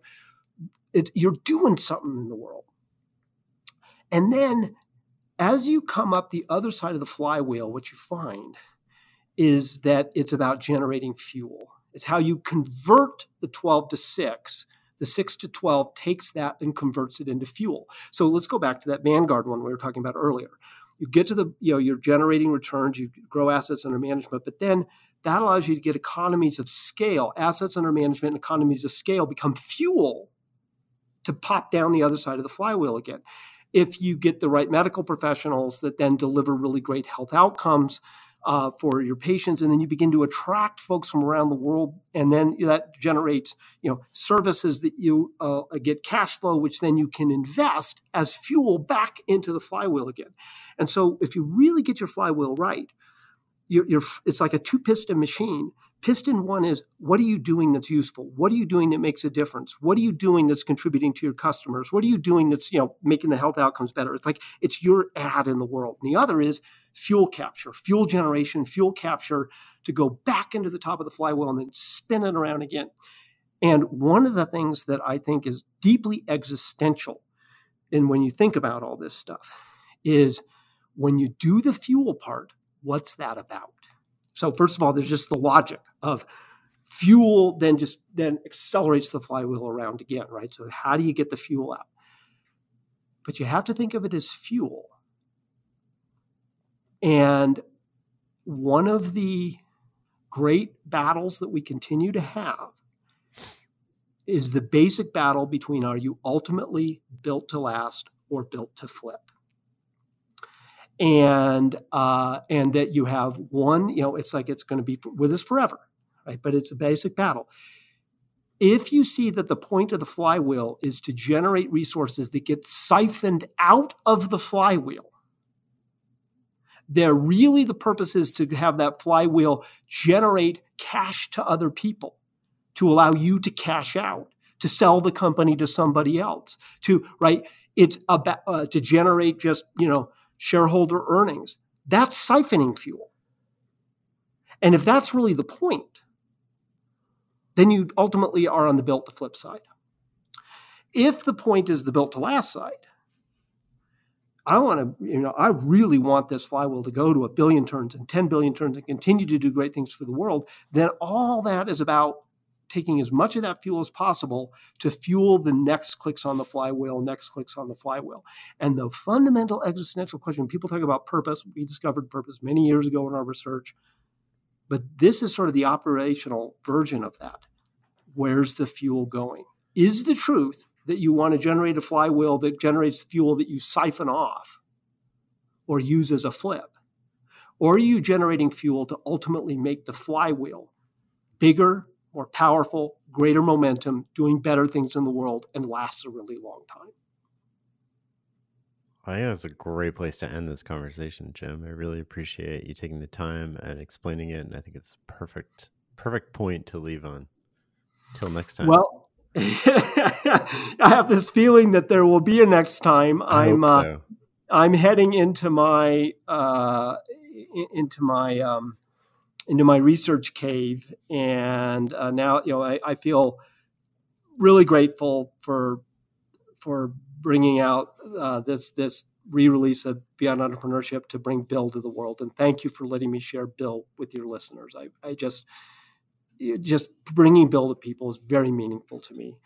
And and now I'm going into my research cave. Uh, I'm going to be working on my self renewal research, and um, I, I, do think of it as I'm at sort of at a midpoint in my career. I'm only 62, and if I've got good genes, you know, I should be basically 30 years into a 60 year arc. And that's a big if, right, on genes. But I don't know if I, uh, good luck and all that kind of stuff. But if I get that, and I'm turning to these new questions. So, um, although there's lots of other stuff we could talk about. So, I'll, I'll be back. Uh, but for a while, I'm going to be a nice Enneagram 5 after I uh, get this out in the world and hiding in my cave.